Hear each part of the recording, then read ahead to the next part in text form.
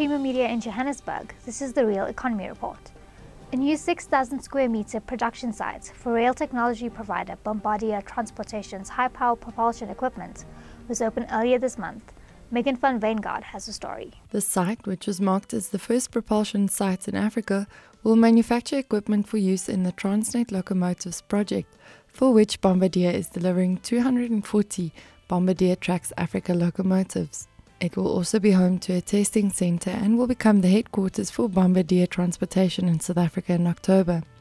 Bombardier Africa, Europe and Middle East Regional President Per Almer highlighted the local benefit of the project. When we were awarded a portion of the Transnet locomotive project, we were very clear on one thing. We said that every single locomotive will be built in South Africa for South Africa.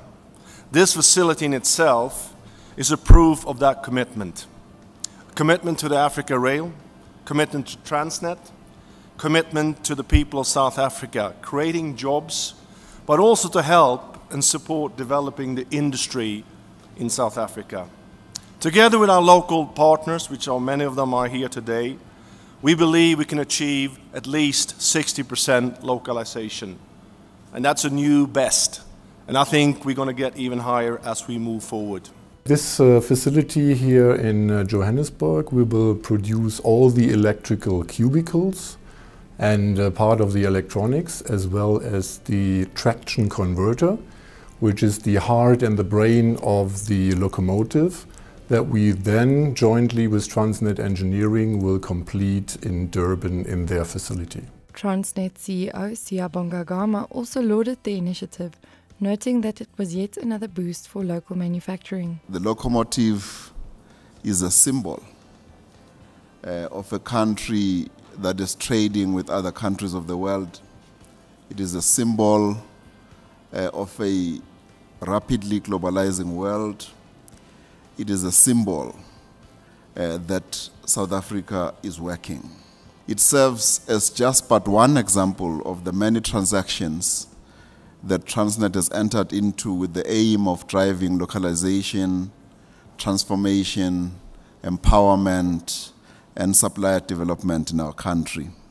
This ensures that investments in local manufacturing capacity will continue. It ensures that there will be capacity building. It ensures that there will be training and further improvement of skills um, of our local employees. Almost 100 direct jobs have been created since the inception of the Traxx Africa program, with more than 40% earmarked for women. Bombardier is further partnering with technical colleges for recruitment of available talent, implementing an internal training program to multi-skill its employees. Other news making headlines this week, the need for rope condition assessment is emphasized.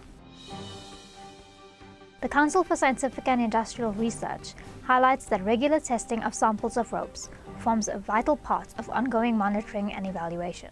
The rope manufacturer can predict the strength of a rope fairly accurately uh, by considering the construction of the rope, the wire size, the number of wires and the configuration as well as the material properties. However, once the rope is manufactured, there's only one way of knowing for certain what the strength of the rope is, and that is through testing it. Mm-hmm. Also, once the rope is installed and in service, the condition of the rope will generally deteriorate over time. The rate of deterioration can vary greatly, uh, and it may be, uh, be influenced by factors such as the operating conditions, um, how heavy the loads are, how many cycles the winder might do uh, in a typical day or a month. And because of all of these unknowns, the rate of deterioration is, cannot be predicted and to know what the remaining strength of a rope in service is, it has to be sampled and tested. That's Creamer Media's Real Economy Report. Join us again next week for more news and insights into South Africa's real economy.